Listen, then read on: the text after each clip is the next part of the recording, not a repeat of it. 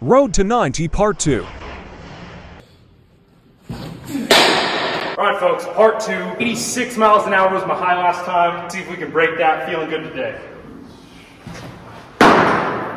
Dude, that's a good start.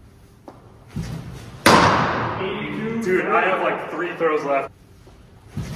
84 2. Or two. Dude, you're on it. Dude, what about the like pine tops? Will that help? Oh, yeah, obviously. All right, you just go straight to the fingers with this stuff? Come on now, go. Go. 85 3. This is it right here. New PR, this pitch, 86 miles an hour. Here we go. Come on. 86 3!